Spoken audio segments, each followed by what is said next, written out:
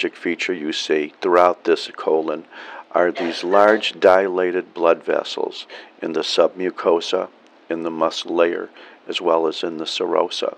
This is the classical appearance of a hemorrhagic infarct of the colon. In some organs, like lung classically, infarcts could be very, very hemorrhagic.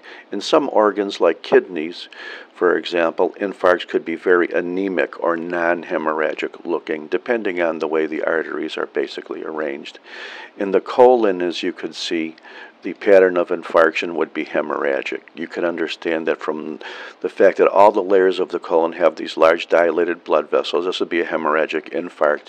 You can also appreciate the fact that because of the infiltrate of all these inflammatory cells, uh, probably chiefly neutrophils, but uh, certainly uh, I'm sure we could find some lymphocytes, that the overall integrity and strength of the colonic wall would be uh, compromised, and therefore infarcted colons are at risk for perforating.